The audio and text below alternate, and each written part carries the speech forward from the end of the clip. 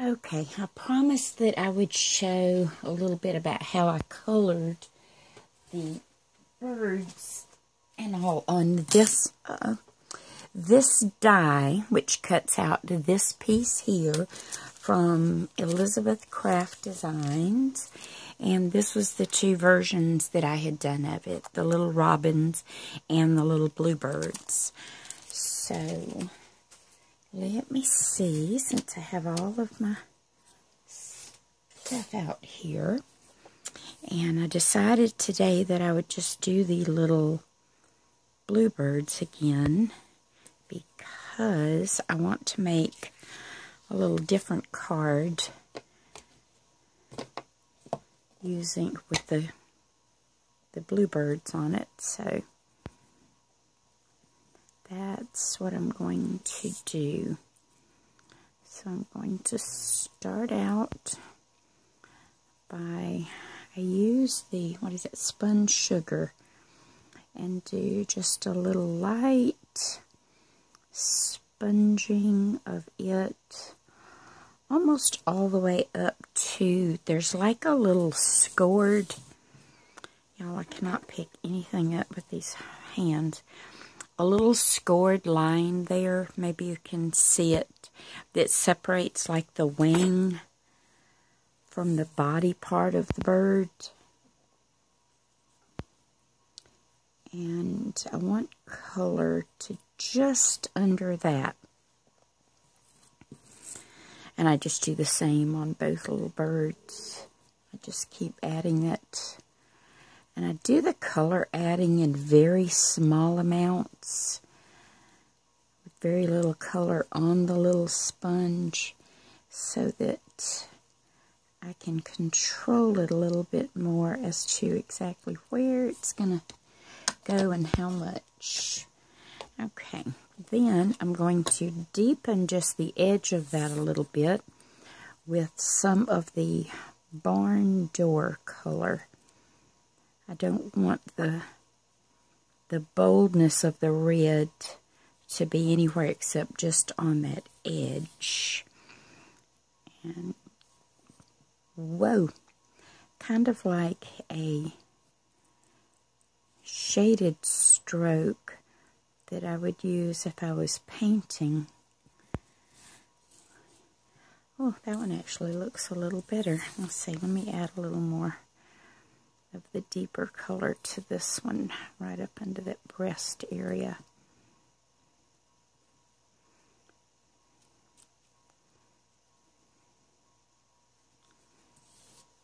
Cool. Okay, that will work. Okay, then the blue color is going to be, I have to see if I've used a particular blue or not yet, and I don't think I have, so I'll get out another little applicator. I'm going to use this little Stormy Sky and just lay in my the top sides of the bird with it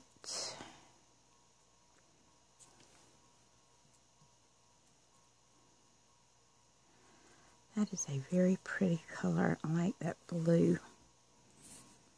And then let it kind of fade down onto the wing area.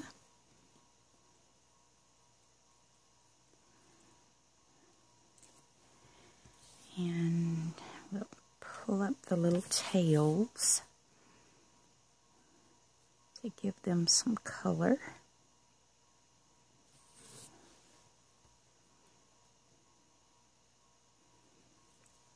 I like that. Okay, then I want the, where's that blue? Here it is. This salty ocean color. I'm going to use it to create the the more intense bluebird color. Just because when the sun shines on them. Some of them will be so bright. I startled one the other day when I took my dog out. He was actually on the ground in front of us, and I didn't see him at first. And he took off flying, and that blue was just so pretty. But he just flew up to the power line above where we were at, so he was okay. Okay, so that is all I'm going to do to that. Then I want to take this mustard seed and put in their little beaks. Their little beaks almost get colored with the other colors, but I then go back and add them in there. And I didn't get quite enough of the blue right around this one's little face. There it goes. Okay, that looks a lot better. Now, I want to do the little tree limbs. I don't think I had used this iced spruce color before. I don't see, ah, yes, I think I did. I think this is it right here. That's it. Okay, and tree limbs are not just brown. So I like this color to kind of lay in a base for the little limb part of this die. I kept calling it a birds and branch die, and I think its actual name is called lovebirds, but it is just the sweetest die. And it's so versatile because you can do so many different birds. The, the robins and the bluebirds, of course, are the ones that just kind of naturally come to mind. But I was, as I was looking, I sit next to a window that looks right out into a selection of bird feeders that I have out and I could see out there and watch all the different birds that come to my feeders. So I'm going to do the little leg area that's under them in a little darker brown. And then where each of these little like limb nodules and underneath the, the leaves, I'm going to add just a touch of the darker brown. And it actually helps give more of the illusion that it's an actual tree limb color than if you just come in here and did everything brown. Because trees are not really brown. There's so many different shades of grays and greens and brownish effects, but I just like doing mine that way, so that's how I do them. Okay, now the leaves, I like to do them in two steps. So from the end, I pull in the lighter color, which is the shabby shutters, and I do that to each one of the leaves. I pull from the outer edge oh, to the center. And I don't worry if I don't cover the entire leaf shape up. Because that's not really going to matter because I'm going to go back and, and do a darker color anyway.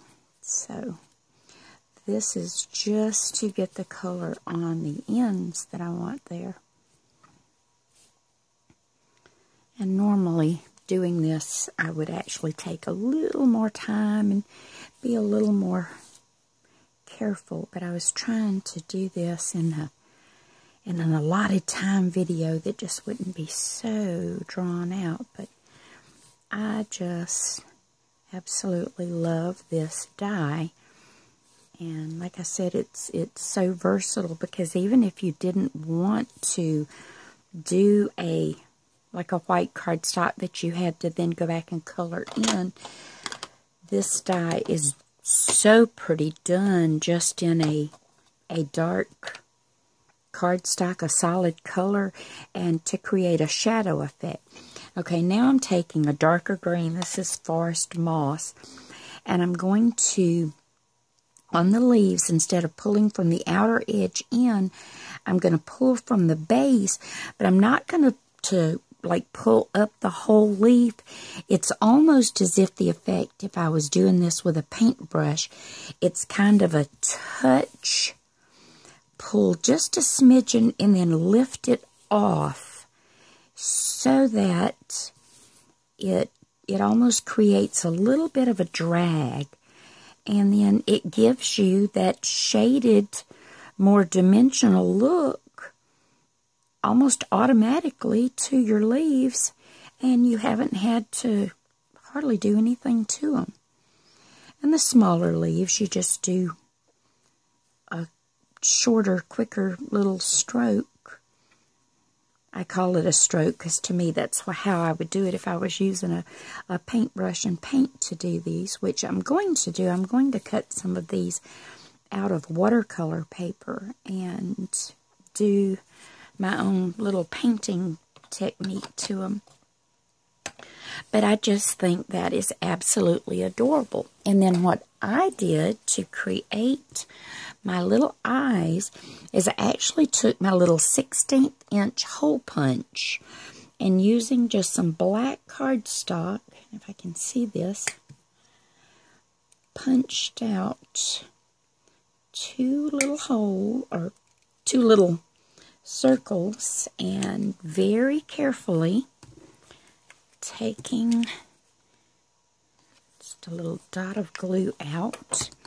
And I use my little my little bitty pokey tool thing. And I ever so carefully pick the eye up set it into place give it a little press do the same thing on the other little black dot. Oh, come on. Get off. There we go. It Didn't want to slide for me.